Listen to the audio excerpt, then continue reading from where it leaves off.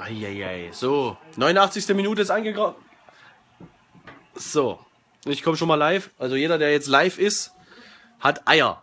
Das steht fest. Ne? Norm ist auch am Start. Ja, Norm da ist. dich. Servus, ist aufgewacht. Ähm, Kati hat geschrieben, ob wir saufen. Saufen wir? Ja, Ja, naja, saufen kann man es nicht nennen. ja. Eben, saufen ist das nicht. Das ist ähm, gem gemütliches äh, Miteinander Saufen.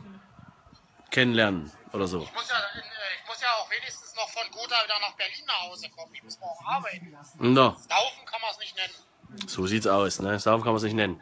Deswegen, wie gesagt, die 90. Minute ist jetzt angebrochen. 0-0.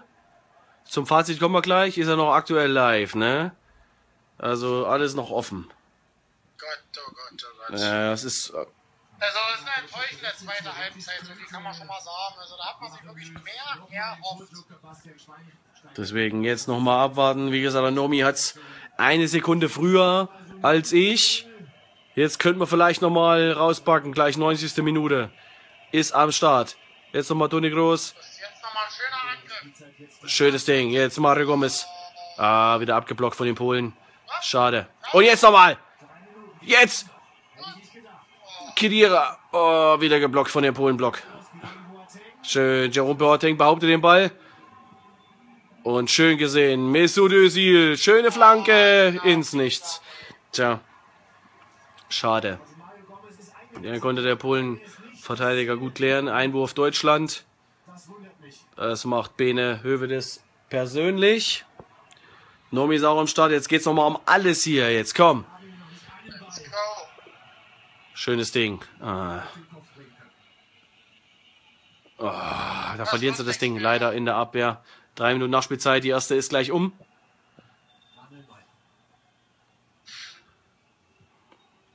Jetzt müssen wir mal schauen, was kommt.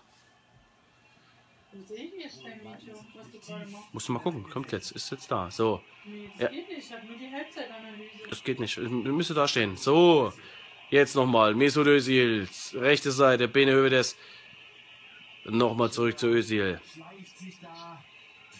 Sammy Gedira. Auf Toni Groß. Der hat nochmal ein Auge. Wieder zurück zu Toni Groß. Boateng muss laufen. Hat ihn aber nochmal anderthalb Minuten. Sind noch zu spielen in der Nachspielzeit. Jawohl. Jetzt. Jetzt äh, Müller. Ach, mit einem guten Versuch. Nur dieses Jetzt. Aber leider ins Nichts. Schade. So, die zweite Minute der Nachspielzeit ist gleich um. Ja, da kommt er nicht mehr dran. Schade, schade. Jens, grüß dich. Ein Beobachter schon mal. Er hat auf jeden Fall Eier, wenn er mit zuguckt. Ja, dann mach doch. Ist doch online. Ich finde dein Video nicht. Das musst du auf meine Seite vielleicht schauen. Ne? Ich wäre hier nur gedisst. Ja. So. Ah, schade. Abwehr von Polen steht echt sicher. Muss man sagen. Das habt ihr nicht gehört. Jetzt. Mesut Özil. Oh, Foulspiel. Das Foulspiel. Nochmal Freistoß für Deutschland. Das ist aber nicht live. Ja, verzögert. Das ist eigentlich eine gelbe Karte, ist meine Meinung, weil es ging nur nach dem Mann. Genau. Kulpers zeigt auch die gelbe Karte.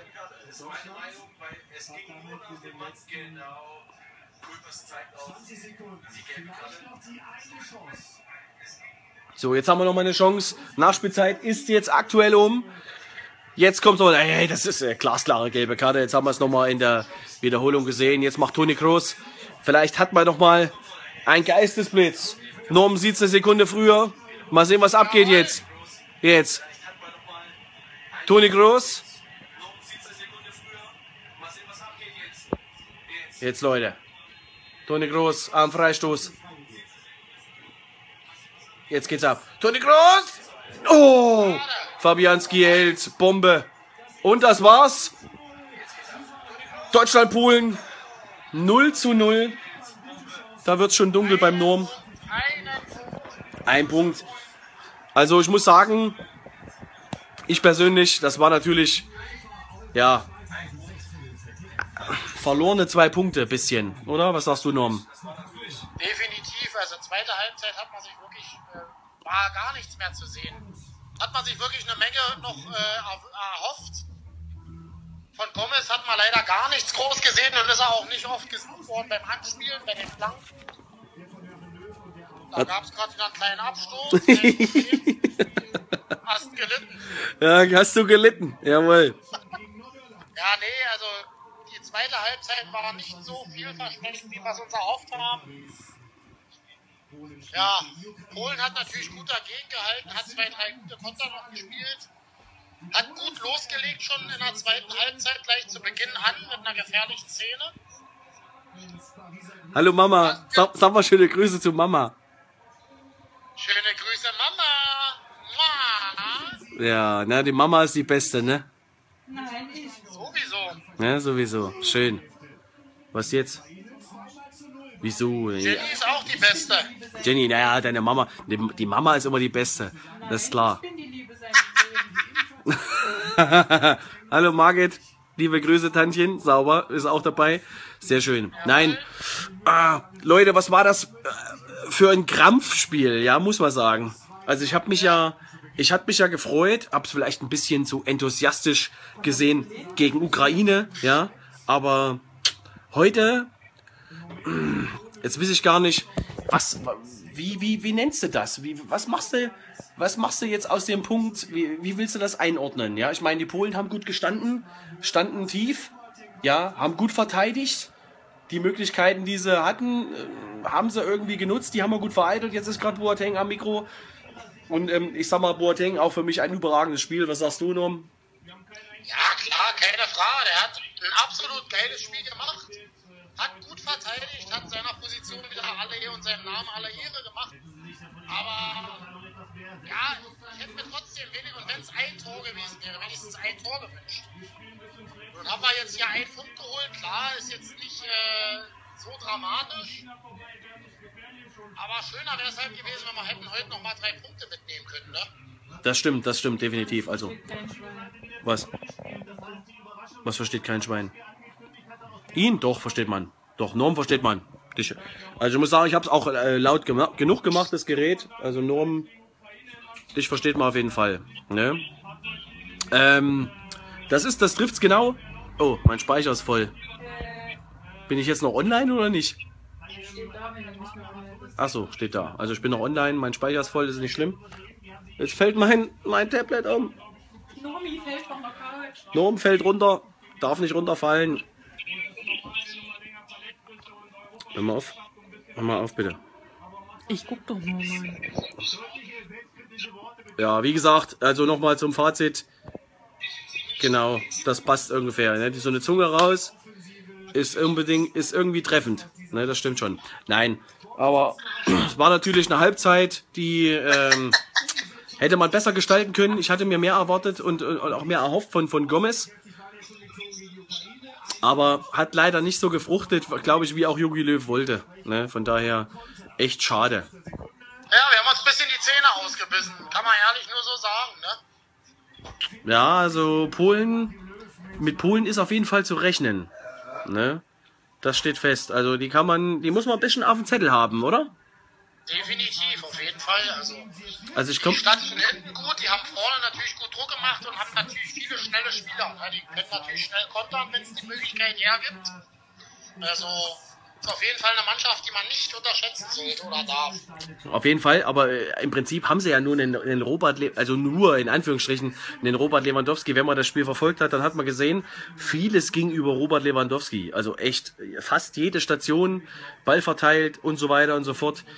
Äh, Robert Lewandowski ist auf jeden Fall der Mann, der äh, das Ding am Leben erhält bei Polen. Ne? Das muss man schon lassen. Die haben viele Spieler, auch ich sag mal abwehrtechnisch, auch der, Ja. der, der Lukas Piszczek gut gespielt. Die Innenverteidigung stand echt Bombe bei denen.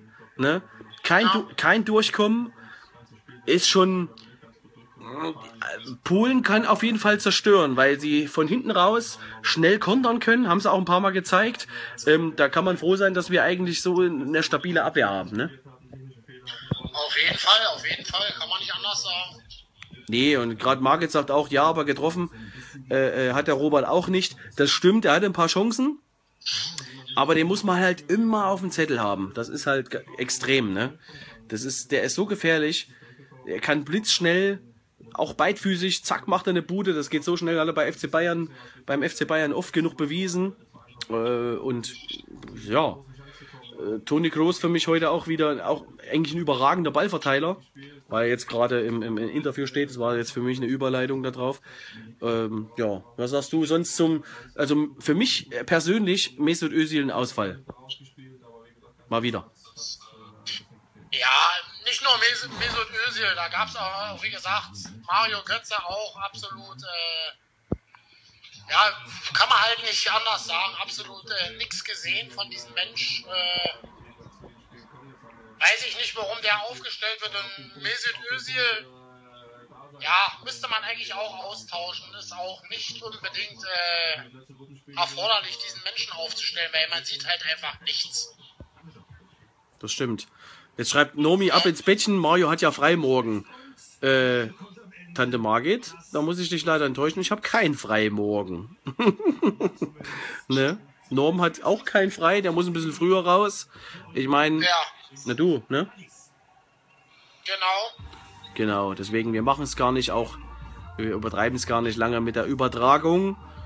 Äh, Das Video kann man sich an, anschauen. Ich werde es auf äh, YouTube hochladen, auf meinen, auf meinen Channel. Mal gucken, wie wie, das so passt. Da kann man sich das alles nochmal anschauen. Ja, im Prinzip, was, was sagst du zu dem, zum nächsten Spiel? Wir müssen ja als nächstes gegen die Nordiren. Was schätzt du denn? Ich meine, da sind wir wieder am Start. Was sagst du? Auf jeden Fall. Naja, Nordirren, äh, klar, auch erstmal äh, keine große Mannschaft, aber halt auch nicht zu unterschätzen. Ne? Also müssen wir sehen, klar, die, da müssen wir den Sack auf jeden Fall zuschnüren. Ist Pflicht da zu gewinnen, schon alleine, weil Polen auch noch ein Spiel hat, logischerweise. Und man nicht weiß, wie Polen spielt, äh, spielen wird, wird ja sicherlich auch eine geile und, äh, äh, wie soll ich sagen, eine herausfordernde Partie nochmal für Polen werden, gegen die Ukraine zu spielen. Äh, auch zwei klasse Mannschaften, die da nochmal aufeinandertreffen. Aber Fakt ist bei uns auf jeden Fall, wir müssen im letzten Spiel den Sack zuschnüren. Und das können wir nur machen, indem wir drei Punkte holen. Ja, sehe ich auch so. Margit, Nachti, schlaf schön. Für dich auch gedrückt. Und das packen wir auch. Und ich finde, ähm, das war, äh, Norm, das war ein gutes Statement. Die Nordiren sind nicht zu unterschätzen. Die musste auf jeden Fall irgendwie äh, versuchen, ja, kaputt zu machen, weil die stellen sich auch nur defensiv rein. Ich weiß gar nicht, wann So spielen, wann spielen wir eigentlich als nächstes? Habe ich gar nicht so auf dem Zettel. Am 21. spielen wir Mario. Danke, danke. Gut, das, gut, dass ich ihn habe, weil äh, Am 21. und da ist die Besonderheit 18 Uhr und äh, die letzten Gruppenspiele äh, in jeder Gruppe äh, finden äh, praktisch zeitgleich statt. Das heißt, Polen spielt zeitgleich mit Deutschland am 21. nicht schlecht. Habe ich gar nicht so gewusst bis dato. Ja, es finden beide Spiele 18 Uhr statt, parallel zu, äh, sozusagen. Sehr gut. Wunderbar. Gut. Ich würde sagen, das war kurz und knapp. Deutsch, Deutschland, Polen, Fazit. Ähm, war mehr drin, ne? Und unentschieden geht in Ordnung. Unterm Strich muss man sagen, ne? Weil der, der das eins, eine Tor geschossen hätte, der hätte auf jeden Fall gewonnen. Das sage ich so einfach nur, das habe ich schon eingangs gesagt. Und ja, deswegen uns bleibt nur nichts weiteres übrig, als äh, ja, euch eine gute Nacht zu wünschen. Macht euch ein schönes Gute Nacht. gute Nacht, schönes Wochenende und ähm, wir hören und sehen uns dann zum Deutschland-Nordirland-Spiel, würde ich sagen. Vielleicht auch wieder, Genauso. vielleicht wieder mit Norm, vielleicht ist er am Start, ich weiß es nicht. Müssen wir Ja, mal gucken. definitiv, natürlich, na klar. Hat auf jeden Fall mir sehr viel Spaß gemacht, Cousin. Mir auch, war sehr lustig, war schön und äh, lasst einen Daumen oben, auch im YouTube-Channel nachher. Genau, wie gesagt, ich lade es am Wochenende, versuche ich es irgendwie hochzuladen und mal gucken, äh, wie wir das so hinkriegen. Ansonsten, ja, fühlt euch gedrückt, macht euch einen schönen Abend und wir sind raus. Ciao, ciao. Genau. Nach dem. Nach die, ciao, ciao.